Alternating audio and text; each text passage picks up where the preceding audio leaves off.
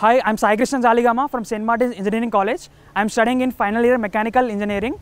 I have selected in Infosys and TCS companies, which are the top two most IT companies in India. I have selected to Infosys through our college campus placement drive. Uh, Infosys is the day one company to our college, and I have selected to TCS in the name of TCS National Qualified Test. It is also known as TCS Ninja. In the, the past four years have been very fruitful and memorable for, for me. Uh, college has achieved a lo- lot of things in the previous years. For example, NAAC A plus and getting NBA accreditation and recently NIRF rankings. Uh, these are the greatest achievements in now in the college. I have joined in SAE club in 2017. That was when I was in second year. I was the member of as uh, principal secretary.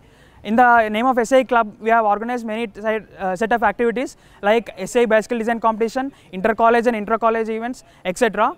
In recently, in March 2020, we have participated in SAE Baja, which is for uh, designing and fabrication of buggy car.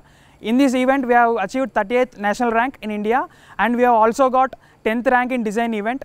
Apart from these activities, we also participate in various set of activities. For example, recently I published an international research paper in the name of CFD analysis of disc brake uh, under the guidance of our head of the department, Dr. D.V. Srikanth.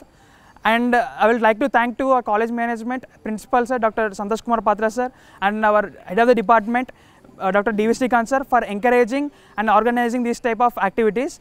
These activities are really helpful for us as these activities inculcate many set of skills for example leadership skills communication skills and problem solving skills without these activities it, would- have been very difficult for us to get the exposure to the uh, coming competitive world I would like to appeal to all my juniors to participate in all the activities conducted in the college because these activities would be really very helpful in your future because these activities would give good exposure to the world and will be very helpful in the future.